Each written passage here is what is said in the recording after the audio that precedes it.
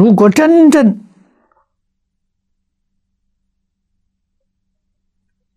把古人修行这一招啊学到了，一门深入，长时熏修啊，你就成就了。世尊当年为我们做出了实现，顿悟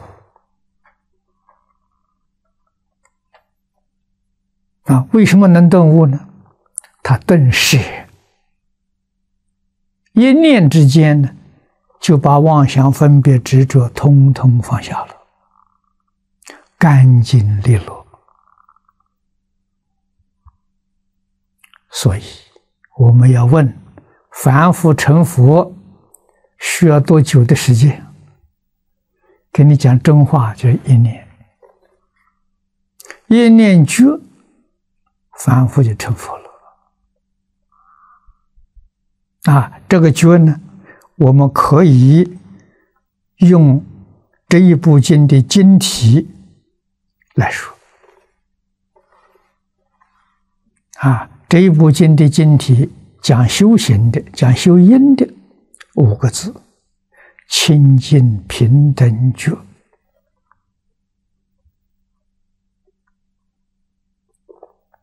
啊，那我们要知道这五个字。就是阿耨多罗三藐三菩提啊，就是无上正等正觉，清净心成正觉，阿罗汉呐；平等心成正等正觉，菩萨，佛。成就了无上正等正觉，那就是“觉”这个字。一念之间呐，啊，我们知道这个方法，明白这个道理，深信不疑。问题在？问题是放不下了。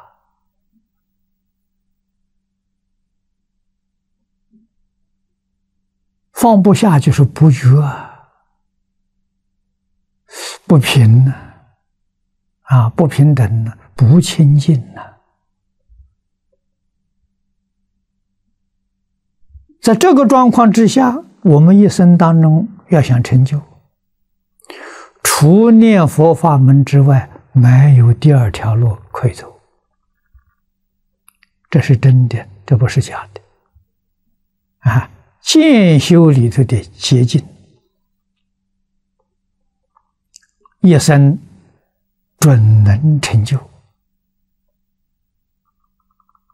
成就早晚，到西方西方世界成就品位高低，还是在放下。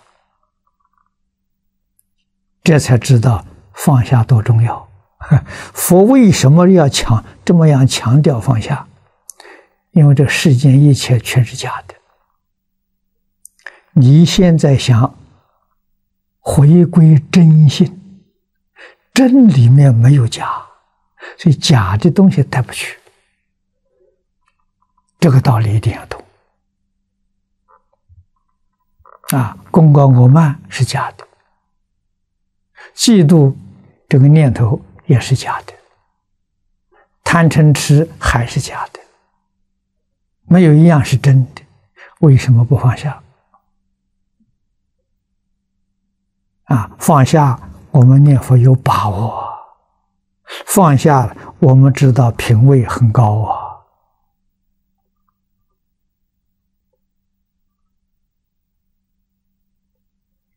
三杯九品往生，善导大师说的好啊。总在遇缘不同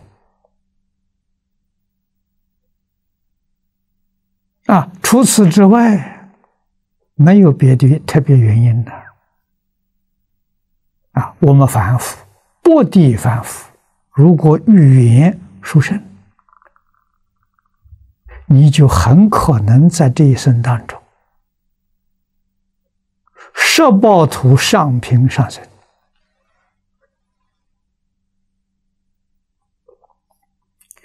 跟释迦佛、跟六祖慧能大师没两样啊！啊，升到十这个西方极乐世界十宝庄严土啊，啊，上上品往生。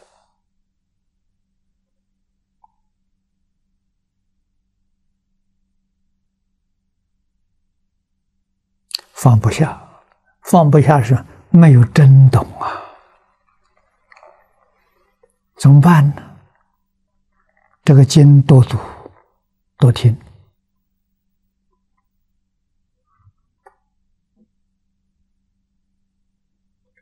啊！如果真正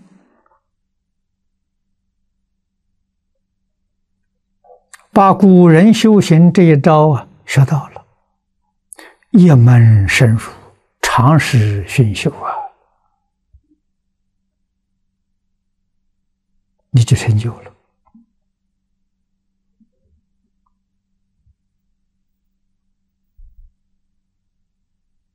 啊！所以念佛人啊，这真念佛人，这不是搞假的。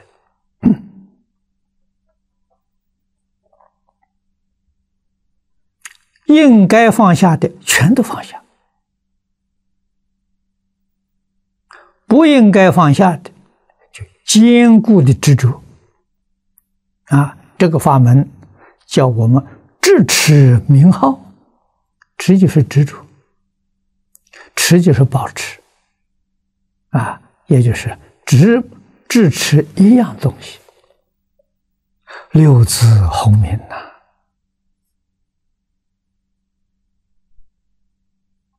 你就决定得生净土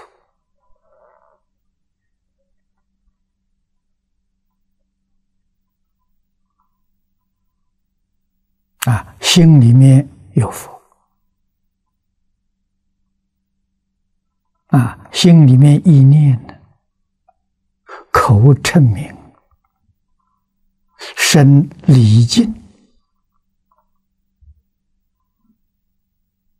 啊，那个恭敬心不能中断。那我没有，就是跟佛像不对面，那那个恭敬心还有没有呢？还有，怎么能升起？你不知道，你要真正知道了，一切众生本来是佛。他是哪一尊佛？我们念阿弥陀佛，他就是阿弥陀佛。阿弥陀佛就在你面前呢，阿弥陀佛就在你左右啊，就在你周围啊！啊，一切众生没有一个不是阿弥陀佛，一切一切一切皆一。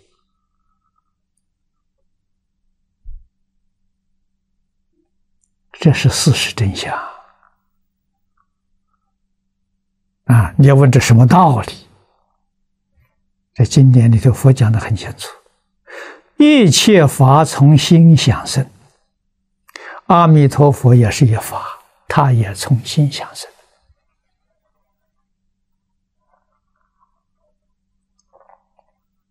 我们如果真正知道一切众生啊，一切人。一切动物、一切植物、花草树木、山河大地，全都是阿弥陀佛的报身。你肯定了，你认识了，你就真得报身了。啊，阿弥陀佛的报身了，礼敬祝福普贤菩萨这一愿，你就。圆满了啊！如果你还有分别，这是阿弥陀佛，那个不是的。你这一愿没有圆满啊，一切一切，一切皆一，就大圆满了。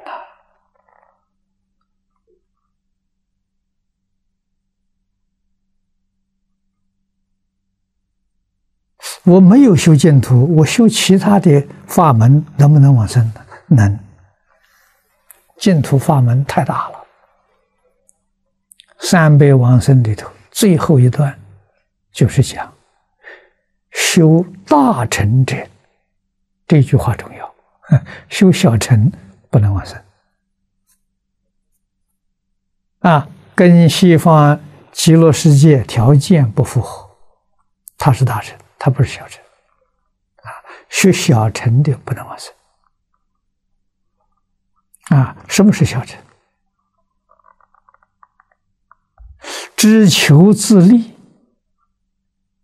还没想到要利他，那就小乘。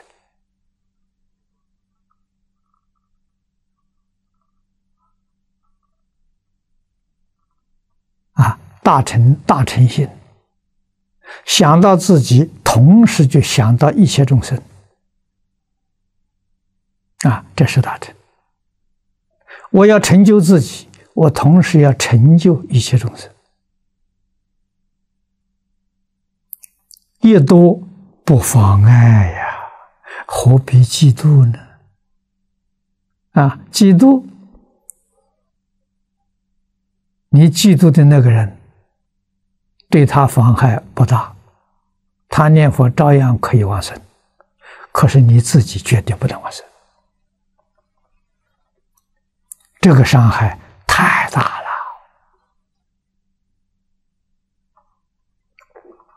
如果你要懂得的话，你把嫉妒改变为赞叹，随喜功德，哦，那你了不起